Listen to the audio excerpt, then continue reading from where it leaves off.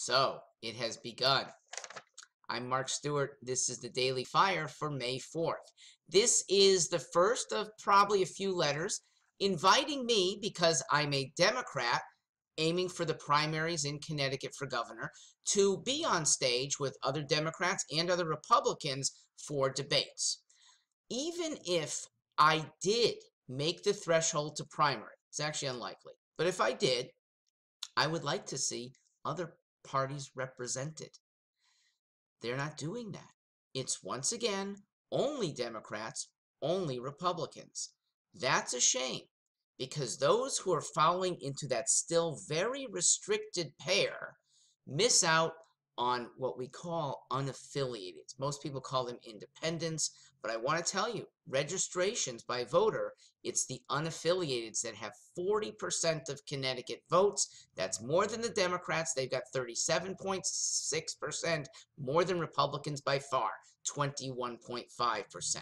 Keep that number in your mind or in your wallet because I'm going to wager something. This year, in the governor race, there will be more than 21.5%, more than re um, registered Republicans voting for non-major party candidates. And it makes sense.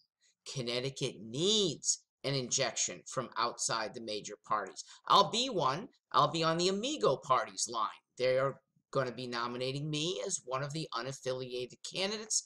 There's a good crop, and ask most commentators. They will say that the better ideas actually come from the more independent candidates. So people should be listening. And people like Mark, Oz, Monty, Micah, Marissa, lots of M's, deserve the hearing so that voters have the full panoply of ways to help Connecticut. If one of us is elected, almost certainly, it's the best message that will change Connecticut more dramatically. None of us unaffiliated people have ties that make us have to kiss up to groups. We really can get things done because the power of potentially 51% voting for an unaffiliated, it's huge. Same old, same old is not going to impel the significant change we need. When people sign my petition, to be on the ballot as an Amigo Party candidate. A lot of times they say, good, we need more voices. When people don't sign, sometimes they leave with a, I'm disgusted with the system of just two parties. And they're right. So I want to thank the commentators who have put independent candidates forward in front of the population. Colin McEnroe, Jeff Jacobs, Matthew Ormseth, Max Reiss, Russell Blair, Todd Feinberg, Vinnie Penn. You guys are heroic. And those who continue to neglect strong, serious contenders for governor, even though they're outside the two-party system, you're going to look horrible. I mean, to many of us, you already do. You've missed it. You missed Bernie Sanders. Where did he come from? And some of you missed because as of three years ago, almost everyone dismissed, because the media thought less of him, our current president, Donald Trump.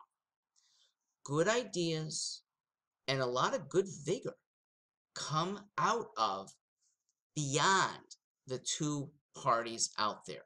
We don't have to kiss up to groups. We're not constrained by party orthodoxy. Listen to the mainstream candidates. They don't allow themselves to be put on a limb. They're thoughtful. They could be out there and express a lot of more provocative things. They won't.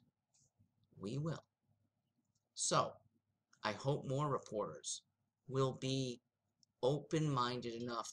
You'll get more listeners because of it, and you'll be helping Connecticut. I am Mark Stewart, Democrat candidate, Amigo Party candidate. Look us up at weresist.us. Thanks for listening.